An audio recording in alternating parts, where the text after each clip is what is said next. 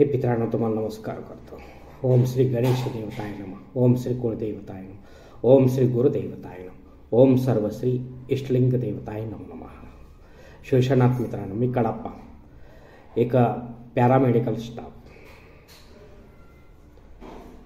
माझ्या धर्मकरम चॅनलमध्ये आपले सहर्ष स्वागत करीत आहे. मित्रांनो आपले आरोग्य या सदरामध्ये मी आज आपणास एका महत्त्वपूर्ण अशा शारीरिक समस्येबद्दल निवेदन करण्याचा प्रयत्न करणार आहे. माहिती देण्याचा प्रयत्न करणार आहे. पण प्रथम आपण सांगू इच्छितो की ही जी माहिती आहे ही संग्रहित केलेली माहिती आहे. यामधील कुठलाही उपचार करण्याआधी आपल्याला तज्ज्ञांचा सल्ला घेणे आवश्यक आहे. अन्यथा दुष्परिणामही जाणू शकतात. याची जबाबदारी पूर्णपणे आपली राहील मित्रांनो. मित्रांनो आपण सायटिका नावाची समस्या शारीरिक ही ऐकली असेल अनेक वेळा. तर ही जी समस्या जी आहे ही मज्जातंतूमध्ये उत्पन्न होणारी वेदना एक प्रकारची समजावी. पाठीमागच्या खालच्या भागापासून पृष्ठभागापासून ते शेवट पायापर्यंत जाणारी अशी ही नस आहे जी आपल्या हाताच्या बोटा एवढी साधारण असते. हाडांच्या स्फुरणेने मज्जातंतूपैकी काही भाग दाबला गेला की वेदना सुरू होते.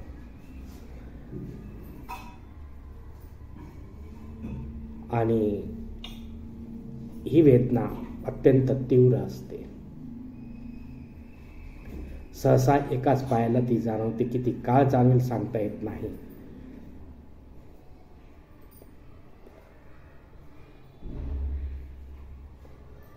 पण निदान व योग्य उपचाराने नियंत्रणात राहू शकते आणि हळूहळू समस्या कमी होते. पण ज्या वेळेला वेदना होते त्यावेळेला जवळजवळ विजेसारखा धक्का बसल्यासारखे होते मित्रांनो. ते साधारण समस्या कोणामध्ये उद्भवते? नियमबाह्य वजन असणारे व्यक्ती. बैठे काम करणारी व्यक्ती यांच्यात जास्त आढळणारी अशी ही समस्या आहे. जवळजवळ हाताची आपल्या उठण्या बसण्या झोपण्याच्या चुकीच्या सवयीमुळे अशी समस्या उद्भवू शकते. बराच काळ आपण एकाच ठिकाणी बसून राहिल्यास पायात सुन्नपणा येऊ शकतो. पायात जळजळ होणे व पायाला सूज येणे देखील यात आढळू शकते. उभे राहणे चालणे फिरणे जमत नाही मित्रांनो. तर असा हा न सांगता येण्यासारखा आजार आहे. यावर विज्ञानाने अनेक प्रगती केलेली आहे पुढे चालून. याचे निदान X ray C T scan M R I electromyography physiotherapy physiotherapy हा उपचार झाला.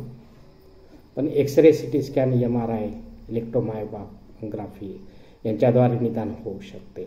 त्यानंतर मग यावर फिजिओथेरपी औषधोपचार इंजेक्शन्स ॲक्युपंक्चर व कायरो प्रॅक्टिस देखील यावर उपचार म्हणून आपल्याला करता येते मित्रांनो. हलकासा व्यायाम थंड आणि गरम पाण्यात शेक स्ट्रेचिंग करणे पुरेपूर विश्रांती घेणे ताणतणाव मुक्त राहणे थोडे चालणे फिरणे करावे. शेवटचा पर्याय मित्रांनो हा शस्त्रक्रिया राहतो. त्यामुळे कोणी असे समजून घेऊ नये समजूत करून घेऊ नये गैरसमज की अशी समस्या आपल्यामध्ये उद्भव झाली तर आपल्याला शस्त्रक्रिया करावी लागेल सामोरे जावं लागेल वगैरे असे नाही मित्रांनो. मित्रांनो यात थोडेसे वर्ज काही आपल्याला कामे करावी लागतील. त्यात सर्वात प्रथम बाहेरचे खाद्यपदार्थ खाणे तळलेले मसालेदार शिळे अन्न व थंड पदार्थ खाणे वांगी बटाटा मटार उडीद डाळ खाणे टाळणं. एकाच ठिकाणी जास्त वेळ बसू नका. वाकून एखादी जडसर वस्तू उचलू नका. वजनी वस्तू घेऊन जास्त काळ चालू नका. हवा तर थोडे मध्ये थांबा ब्रेक घ्या. उंच टाचांची चप्पल बूट वापरू नका. रात्री उशिरापर्यंत जागी राहू नका. ह्या काही सवयी आहेत आपल्या. याने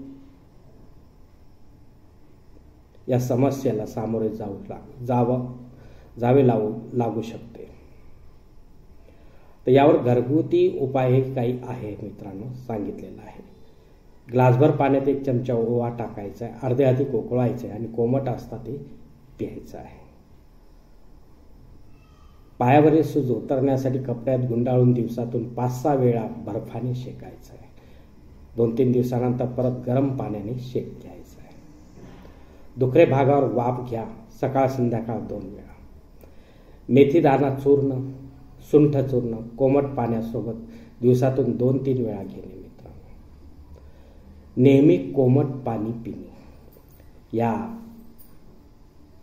सवयीमुळे यावर आपल्याला बरंच नियंत्रण करता येते. उन्हात जास्तीत जास्त वेळ घालवणे ड्रायफ्रूट खाणे दूध व दुधाचे पदार्थ खाणे वैद्यकीय सल्ल्याने कमरेचा पट्टा वापरणे शेंगदाणे गाजर हिरवे पालेभाज्या खाणे.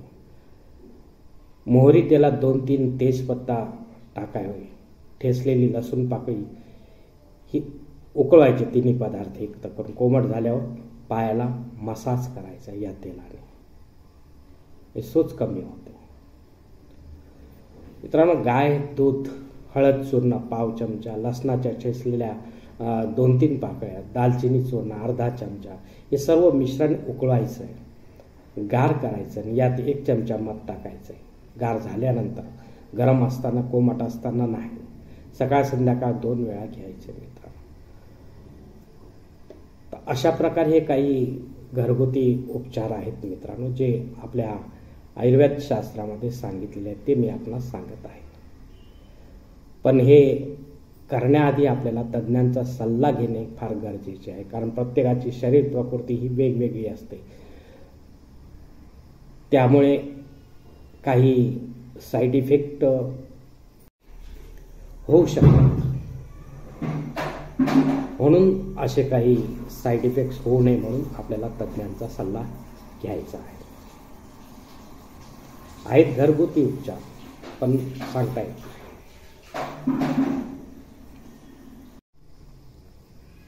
मित्रांनो सावधानता म्हणून या भागात कुठे जखम तर झाली नाही ना.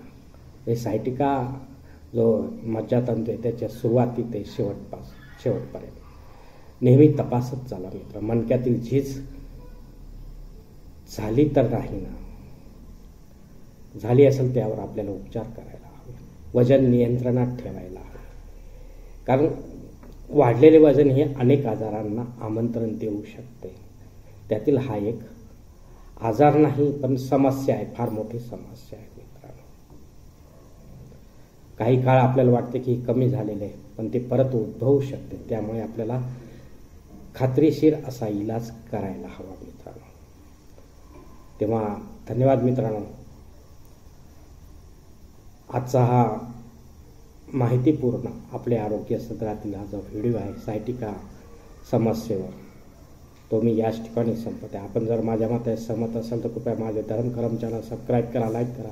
आपले कुटुंब व मित्रपरिवारासह शेअर करा. तसेच कॉमेंट्स बॉक्समध्ये आपले मत अवश्य बोलवा आणि माझा पुढील व्हिडिओ आपल्यापर्यंत पोहोचण्यासाठी बेल बटन अवश्य लावा धन्यवाद मित्रांनो. पुढील भेटीपर्यंत आपण खुश राहा आनंदी राहा.